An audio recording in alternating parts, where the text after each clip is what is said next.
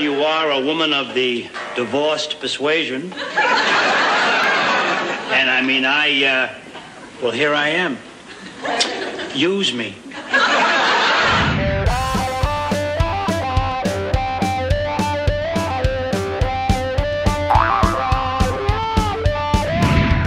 Hi, I'm David Levin, and welcome to another Fresh Leptica episode of Pop Goes the Culture, the behind the scenes TV stories you wouldn't have known from the people who were there. Today, I'm dipping into the archives for my chat with a beloved icon of TV's One Day at a Time. Pat Harrington Jr. was best known as Schneider, the lovable super, but his career started much earlier as a regular on Jack Paar's Tonight Show and as part of Steve Allen's comedy troupe.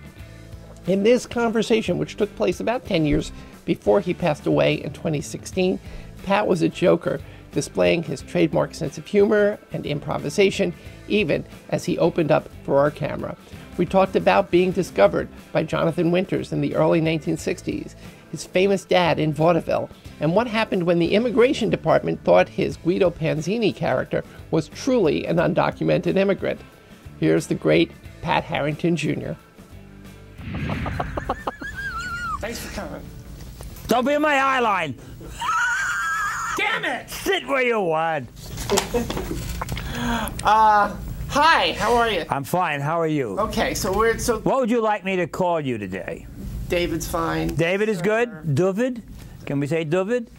Have a noch Sache buena sagen Like my dad. You're like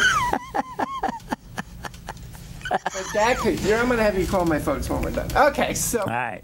All right. Well, we we can do this linearly, non-linearly. We'll skip around. We'll just sort of tell stories. But why don't we go sort of just skip right to? Well, I'm Catholic. Perhaps you should do it linearly. All right, we'll do it linearly. you were born a poor. yes. My folks came into this country during the potato famine in Ireland. That is to say, my father's folks. My mother's family was quite wealthy. They were really very rich. They all came to America during the quiche famine. But there weren't a lot of quiches here at that time. Well, that's what made them move. Should have gone to France. Yes. It would have had a. Are you mic'd? Can we hear you? They can't hear me, but uh, but uh, we'll find a way to work around that. Again, the kids. It's about the kids. It's, I, I understand, but they have to hear what the questions are to reference my responses. We find ways to sort of make that work. All right. It's very interesting. Uh, so let's do it. Let's do it the easy way. Tell me about your start in, in showbiz, as it were. Well, yeah, okay, but let's go back. Okay, how back? My, my, my dad was a vaudevillian, uh, so a song and dance man. And um, uh, I, at a very young age, I mean, I'd get up to, to go to school when, at seven, six or seven years of age, and, and uh, Jimmy Dunn, Pat O'Brien, Bing Crosby would be brought back to the house for scrambled egg. My mom's cooking scrambled egg. And uh, so uh, that kind of percolated for a long, long, long time. Okay, and I, you know, I was the class cut up uh, as people who, like me, are uh, for whatever whatever deficiencies I was trying to overcome. Who knows? Um, and I went to, I got a good, edu- real good education. Uh, the Little Sisters of the Wooden Ruler uh, in uh, grade school, uh, the Christian Brothers in, in uh, high school, and the Jesuits for uh, six years in college. I took two years of graduate work, and I worked on a on a, on a graduate degree. I didn't actually get it. I had to go into the service, Korea. Um, so uh, really in my heart I wanted to entertain. I wanted to be like my father. I saw my father uh, just take over cafes. When he was working in a joint, I would go in and uh, I'd always have to tell him I was coming in and he'd have a place where I could sit, you know, with a, uh, and he just raconteured, told stories, sang with this beautiful Irish tenor voice.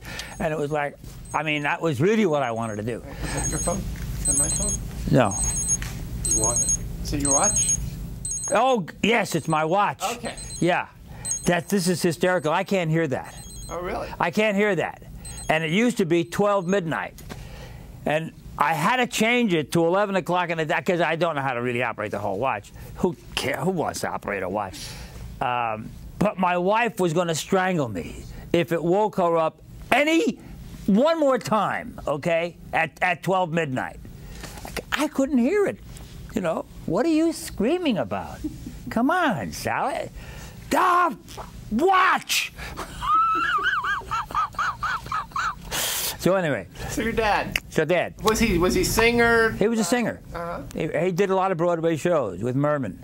He did a lot of musicals. What's his name? Uh, pardon me? What was your dad's name? Pat Harrington. The hell do you think it was? Duh. Got it. Okay. Okay? Got it. Yeah.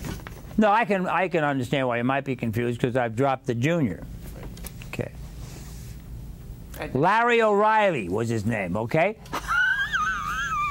no, his name was Pat Harrington. He was a very successful uh, Broadway uh, performer.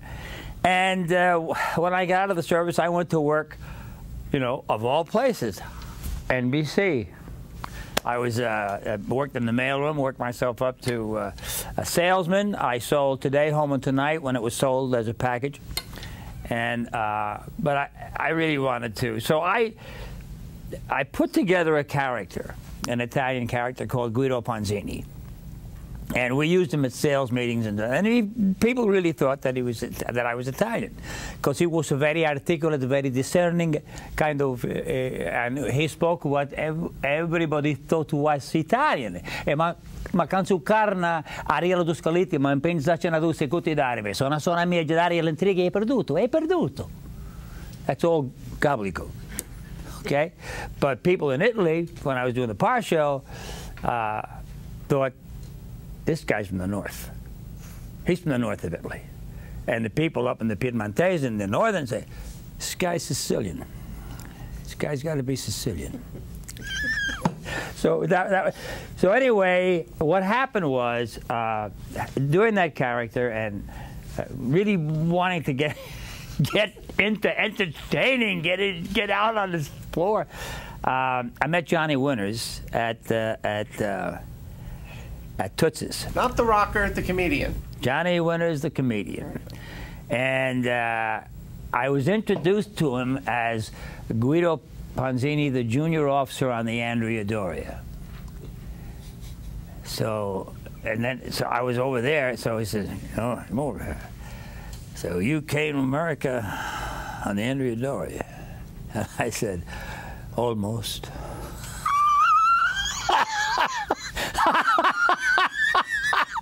Because you got hit off Ambrose Point and it sank, you know, 10 miles outside of the, the limit. So I was almost there, you know. but we were all saved by the Ile de France. They were beautiful. They come up, they pick up all, and, you know, at a buck ahead, they did a hell of a job. so, um, that, so there I am, and he says to me, look it, you've got to come on the, I'm taking over for Paar for three weeks. You've got to come on the show with me. Uh, I okay, so I went on tu- the following Tuesday. This was like a Friday. Did he know at that point that you weren't really? Oh yeah, Okay. 'Cause we were talking, you know, like uh, where you from? What you doing? you know, Johnny. Yeah, just he was. He, but he was. Just, he just thought it was the best sound he'd ever heard, you know. And he's a sound kind of guy. So, uh, so I did three shows with him in the two weeks that he took over. When Paar came back. Um, uh, we had this big meeting. He, he Paar said, "What's been going on?" I said, "Well, there's one guy's getting some laughs." So we had this big meeting, and uh, and uh, uh, there was about nine people in it, and everybody was looking at Paar. You know, how is he going to respond? So he asked me something, and I. I forget the question he asked me, but I was in, in I was in, I was a Guido. I was being that my Guido, and uh, I I responded to this question, and Paar went like this, and everybody was going, and then his shoulders started to shake, and over the next two and a half years, I did 57 shows with Paar. Uh, it, it- that was my introduction, right? I mean, this is the hottest show on television. This guy's on nine national magazine covers in the last five months, and I'm on his show once a week, four times, five times a month, six times a month, right? I became one of the, he had a, he had a coterie of, uh, of people that he that he really liked. Uh, Genevieve, uh, Cliff Arquette, uh, Alan, uh, what, no, what was it? Alexander King, uh, and, and, Guido, and there were one or two others. Dody Goodman. Did I say Dody Goodman? Yeah, yeah. I know. God, I'm glad I remember that. So, yeah, so I was on the show all the time. It it was so success, successful that about four or five months after I made my debut on the show, the producer, Billy Anderson, got a call from the immigration people. They said, We don't have a date of entry, we don't have uh, a, date of entry or a port of entry, and we want to find out how this man came. The guy said he's an actor. Don't get flip. They were really teed up. So he explained it. So uh, the Knights of Columbus wanted me to be their man of the year, you know. I said, I'm Irish. Phone, click, you know. So. Uh, that's all we've got time for for now. Join me next time when we'll be talking about what happened when Pat Harrington was brought to do the Steve Allen Show. If you don't want to miss it, don't forget to subscribe and click that bell icon to get notified when it's ready. Meantime, let me know your favorite One Day at a Time episode in the comments below. I'm David Levin. Thanks for watching. Hey guys, don't miss a single episode of Pop Goes the Culture, the Boomer Tube, or Ask Them Yourself. Subscribe and tap the bell icon so you never miss an episode.